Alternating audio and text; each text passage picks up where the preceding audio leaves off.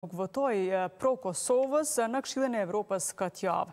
E nëse Dritan Abazoviq do të ishte ende kryeministër i Malit të Zi, nuk do të votonte kundër antarësimit të Kosovës në Këshillin e Evropës. Kështu tha vetë Abazoviq në një intervistë për Euronews Albania. Por veprimi i taneshëm i Podgoricës sipas tij është një realitet i ri dhe kjo ndodhi sepse mazhoranca është krijuar me parti që nuk ndajnë të njëjtin vizion programe dhe vlera. Sipas tij, kjo qasje nuk mund të funksionojë. I pyetur për mungesën e rezultateve konkrete në dialogun mes Kosovës dhe Serbisë, Abazoviq bëri një apel për të dyja palët.